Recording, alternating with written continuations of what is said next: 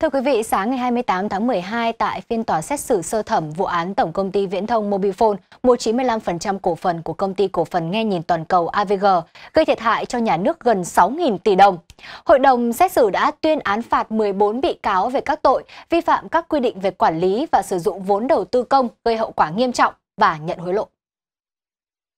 Hội đồng xét xử cho biết tại phiên tòa, các bị cáo đều thừa nhận hành vi phạm tội như là cáo trạng truy tố. Đánh giá gia đình ông Son đã thay mặt nộp 66 tỷ đồng.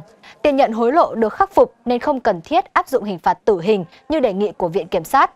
Hội đồng xét xử phạt ông Son án tù trung thân về tội nhận hối lộ, 16 năm tù về tội vi phạm các quy định về quản lý đầu tư công gây hậu quả nghiêm trọng. Tổng hợp hình phạt là tù trung thân. Cùng tội danh, cựu Bộ trưởng Thông tin và Truyền thông Trương Minh Tuấn nhận mức án lần lượt là 8 và 6 năm tù, hình phạt chung là 14 năm.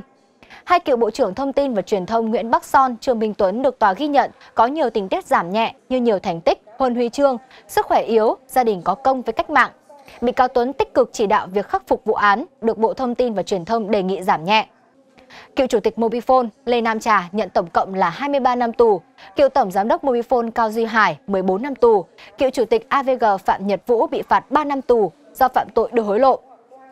Nhóm bị cáo là cựu lãnh đạo Mobifone có nhân thân tốt, đạt thành tích trong công tác, chủ động tích cực khắc phục hậu quả, được công ty xin giảm nhẹ hình phạt, tích cực hợp tác với cơ quan điều tra, gia đình có công với cách mạng.